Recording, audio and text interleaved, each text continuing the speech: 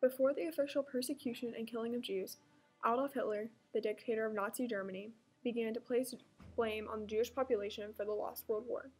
While he passed laws against the Jewish people that would slowly dehumanize and create prejudice against them, such as not allowing them to participate in legislature, no longer having citizenship, doctors and lawyers could no longer practice their work, and store owners could no longer own or work in their own stores all up until the point where they were forced to wear the yellow stars, labeling them as Jews. Then forcefully moved to ghettos and misnamed concentration camps that would take 6 million Jewish lives in a span of 12 years.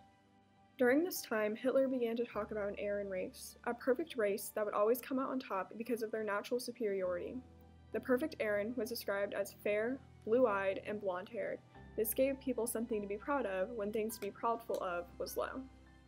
While Hitler was a totalitarian dictator of Nazi Germany, many were against his rule and Nazi ideals. This led for the July Plot, otherwise known as Operation Valkyrie. There had been many other assassination attempts by smaller groups in hopes to overthrow his fascist and totalitarian government, which led Hitler to become very suspicious and self guarded.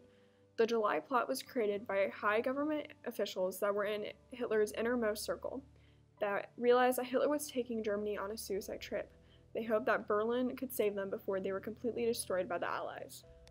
The inventors of the July Plot included Colonel General Ludwig Beck, the former Chief of the Army General Staff Colonel General Frederick Olbricht, Major General Henning von Tresckow, and Lieutenant the Colonel Claus Schenk von Stauffenberg. On July 20, 1944, during a meeting in the Wolf's Lair, Stauffenberg placed an explosive packed briefcase underneath the table that Hitler was sitting at. The bombs detonated at 12:42 p.m.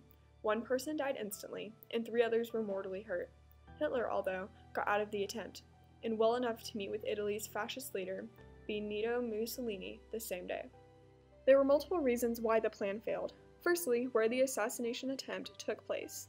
The original meeting was planned to be held in Berchtesgaden Garden Germany, near Hitler's retreat, but it was moved to Hitler's Wolf Lair in Prussia. The change of setting caused Stauffenberg to have to change where the plan was going to take place and the other logistics involved. Due to this change, some plans had to be modified quickly and many problems came through. Stauffenberg walked in and set down one of his two briefcases, both of which contained a primed bomb, and excused himself saying that he needed to make a call. Colonel Heinz Brandt, who was invited to the meeting alongside Hitler, moved the bomb to get a better look at the table sized map in the room. This proved fatal for Brandt and the operation. When the bomb went off, it was not close enough to Hitler to kill him. It did, however, cause major burns and charring as well as temporary loss of use in his left arm. Having escaped death in so extraordinary a way, I am now more than ever convinced that the great cause which I serve will survive its present perils and that everything can be brought to a good end. Stauffenberg, seeing the smoke, assumed the plan had succeeded and left the base and headed for the nearest airfield to go to Berlin leaving the second bomb along the way. The assassination attempt was not the entire plan, but a planned distraction, and its main purpose was to send headquarters into chaos and disorder, while Stauffenberg used Germany's reserve army to overthrow the Nazi leaders and Germany's government. The creators of the plan were shocked to hear that the plan had failed and that Hitler was very much alive. Johannes Tuchel of the German Resistance Memorial Center in Berlin said that if either the second bomb had been used, or if the meeting was going to take place in the original concrete walled room, or the bomb had not been moved in the first place, Hitler would have been killed from the assassination attempt. General Frederick Fromm turned on Stauffenberg, describing their plot and attempt to try and save himself from his ties to the operation. Following this, Stauffenberg and co conspirator Colonel General Frederick Olbricht were arrested and executed by firing squad on July 21st of 1944. Another creator of the operation, Major General Henning von Tresckow, committed suicide. Erwin Rommel, a high ranking and highly respected field officer, was given the option of suicide or trial. He chose suicide so as to spare his family.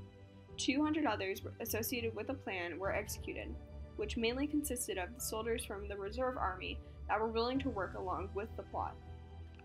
The failed operation only worsened the genocide that was happening in Germany. Hitler took firmer control of his army, believing that God had spared him, and that was a sign that what he was doing was the right and just thing to do.